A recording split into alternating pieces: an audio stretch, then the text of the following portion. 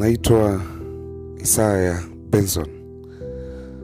Mapinduzi haya ya Gabon, kama ambavyo tumekuwa tukiongea hapa IBM channel, MBM channel, kuwa ni mapinduzi ambayo yana uwalakini, mapinduzi ambayo yana uwalakini baada ya huyu rais Ali Bongo kuweza kupinduliwa baada ya kukaa muda mrefu madarakani, na madaraka haya akiwa ameyapokea kutoka kwa baba yake ambaye alikuwa anaitwa Mzee Ali Bongo, na imekuwa kama ni nchi ya familia. Hiyo imekuwa ni kawaida kwa, kwa, kwa nchi za Afrika. Sasa aliyepindua sio mwingine ni huyu hapa. Huyu anaitwa Brisi uh, Nguema. Brisi Nguema baada ya kumpindua, kwa sababu huyu alikuwa ni jenero cheo chake ni cheo cha ujenero lakini alikuwa ni kiongozi wa ule ulinzi, ile safu ya ulinzi wa raisi. Lakini huyu Brisi Nguema ni binamu yake na uh, Ali Bongo, ukoo ni ule ule. Brisi Nguema ni binamu yake na Ali Bongo.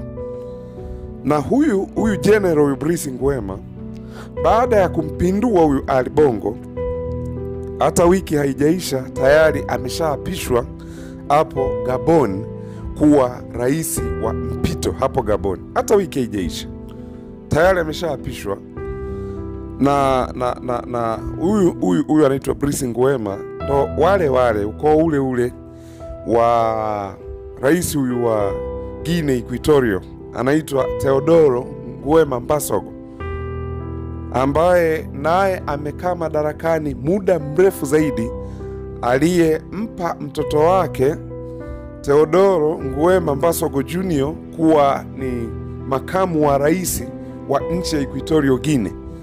Sasa huyu Brice Nguema ni ukoo huo huo, lakini pia huyu ni ni binamu yake na huyu bwana Ali Bongo ambaye ndio alikuwa rais aliyepinduliwa. Sasa kwa nini tunasema mapinduzi haya yana uwalakini ndani yake, hasa hasa hapo Gaboni, nchi ya Gaboni? Kwa sababu hiyo Afrika Magharibi yote hii kumekuwa na mapinduzi. Tumeshuhudia mapinduzi Guinea, tumeshuhudia mapinduzi Burkina Faso, tumeshuhudia mapinduzi Mali na Gine tunayoiongelea sio Gine Equitorio, maana Gine Equitorio ni ya nani huyu? Uh, Teodoro Nguema Mbasogo ambaye amekaa madarakani naye muda mrefu sana. Afrika viongozi hawa wao wanafanya nchi hizi za Afrika ni mali za familia eh, na za ndugu zao. Wao wanaishi maisha mazuri, wanaishi maisha ya juu, wanaishi maisha ya kifahari wanaishi maisha ambayo wanaweza wakafanya chochote, wana miela mingi wameweka, ili hali wananchi huku wanateseka na hali ya chini sana sana sana. Kwa Gine tunayoiongelea iliyopinduliwa sio Gine Equatorio Gine, no, tunaongelea Gine ile Gine nyingine, Gine Bisau ambayo hiyo sasa iliyepindua ni Mamadi Domboya, lakini haya yote yalikuwa ni makoloni ya Mfaransa. Yote haya yalikuwa makoloni ya Mfaransa na Mfaransa anaonekana kupoteza. Sasa swali tunalojiuliza mpaka ninapowaambia ndugu zangu wa IBM kuwa haya mapinduzi, namna tunavyoyaangalia mapinduzi ya Gabon sio mapinduzi halisi, kwa sababu sio kila mapinduzi yanayopangwa yamepangwa ili kuondoa hawa vi, vibaraka hawa wa, wa, wa Mfaransa au vibaraka wa mkoloni. Uh-uh. Sio kila mapinduzi. Mapinduzi mengine yanapangwa na wahuni, yanapangwa na wahuni kwa sababu ya sababu wanazoziona wao wenyewe. Tuna sababu kadha wa kadha hapa za kuongea, kwa sababu uh, hii nchi ya Gabon na yenyewe ni koloni la Mfaransa, na pale Gaboni kuna mafuta, pale Gaboni kuna madini ya manganizi, na watu tukasema kuwa kupinduliwa kwa Ali Bongo hapo Gaboni, huyu Mfaransa tayari amepoteza madini ya manganizi kama alivyopoteza madini ya uranium pale nchini Niger. lakini ndani ya wiki moja hata haijaisha tayari rais wa mpito huyu Brice Nguema aliyempindua Ali Bongo anaapishwa, ambaye alikuwa ni jenero, anaapishwa kuwa ni rais wa mpito wa Gabon, na hatuoni kelele kutoka kwa hayo mataifa ya kibeberu kama jinsi ambavyo kumekuwa na kelele nyingi pale nchini Niger. Nafikiri unanipata anachokiongea hapa. Kumekuwa na kelele nyingi pale nchini Niger, lakini kelele hizo hatuzioni hapo Gabon. Kwa nini hatuzioni Gaboni wakati tunajua kabisa Mfaransa anaenda kupoteza madini ya manganizi kama vile anavyoenda kupoteza uranium hapo Niger? Ni kwa sababu mapinduzi ya Niger ni mapinduzi ya ukweli hmm. Kwa sababu mapinduzi ya Niger ni mapinduzi, wale waliopindua ni pan africanism, sio vibaraka, sio wahuni waliopindua hapo nini hapo hapo Niger. Abrahim Adshani sio sio muhuni lakini mapinduzi hayo yalifanyika Gaboni. Haya ndio maana nimewaambia haya ni ya kuyaangalia sana sana na sio kidogo, kwa sababu inawezekana kabisa ni Ali Bongo mwenyewe ameamua kujipindua yeye mwenyewe kwa sababu fulani fulani, na na na, na tuliona huku huku Niger ambako Naija huku Wafaransa waliambiwa waondoke, walipewa siku thelathini. Wafaransa wawe wameshaondoka ndani ya ardhi ya Niger, hapa nini? Hapo Niger hapo, lakini Mfaransa mwenyewe amekataa kuondoka. Kiongozi wa kijeshi maana hata hata hata hata sio rais wa mpito, useme rais wa mpito kama huko nini, kiongozi wa kijeshi Abdurahman Antishani aliwapa siku thelathini Wafaransa, ubalozi wa Ufaransa uwe umeshaondoka ndani ya uh, Niger, lakini Mfaransa amegoma. Balozi wa Ufaransa aligoma kuondoka nchini Niger, akasema hatuitambui hii serikali, sio serikali iliyochaguliwa kidemokrasia. Kwa hiyo hapa Niger sisi hatuondoki, na uamuzi huo Emmanuel Macron, rais wa Ufaransa, aliupigia chepuo, akampongeza huyu balozi aliyekataa kuondoka nchini Niger. Lakini mambo haya hujasikia kuwa Gaboni balozi wa Ufaransa ameambiwa aondoke, hujasikia haya. Haujasikia Ufaransa akiwa anawahimiza ECOWAS waende wakaivamie Gabon ili hali Ali Bongo alirekodi mpaka klipu akiomba msaada watu wapige, wapaze sauti ili arudishwe madarakani.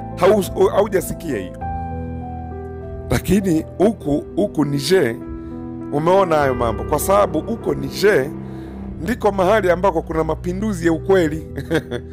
Lakini kitu kingine haujamsikia mtata Vladimir Putin au hujaisikia Urusi wakiwa wanaongea chochote kuhusiana na mapinduzi ya Gabon, kwa sababu wao wenyewe wameshtukia mchezo. Unajua hapa ni sanai, hawa ni wahuni eh, wahuni hawa, watoto wa mbwa hawa wanaojidai kupindua, lakini kitu walichopindua ni kitu gani?